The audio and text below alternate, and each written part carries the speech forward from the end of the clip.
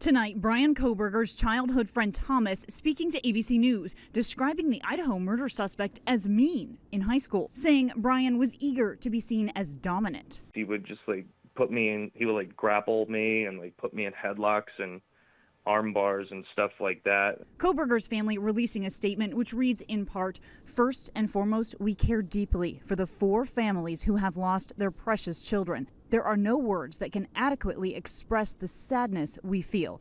We have fully cooperated with law enforcement agencies in an attempt to seek the truth and promote his presumption of innocence. The small community in Moscow terrified for weeks after roommates Kaylee Goncalves, Madison Mogen, Xana Kernodle, and her boyfriend Ethan Chapin were found stabbed to death in their off campus home in mid November.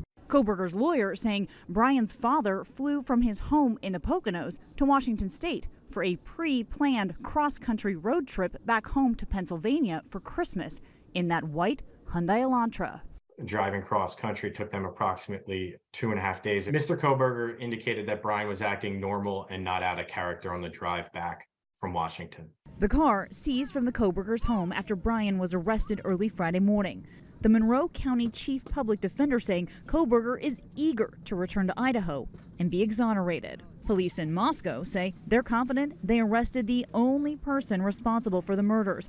Still, they're searching for a murder weapon they describe as a fixed blade knife.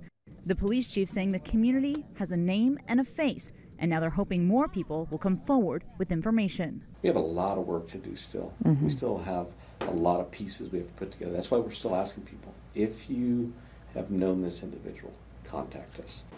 And Chief Fry telling me that within an hour of releasing Kohberger's name, more than 400 tips poured in. Kohberger's lawyer also confirming to us that he remained there in Pullman working towards his PhD until mid-December. He's now set to face a judge in Pennsylvania Tuesday and is hoping to be quickly extradited to Idaho after that.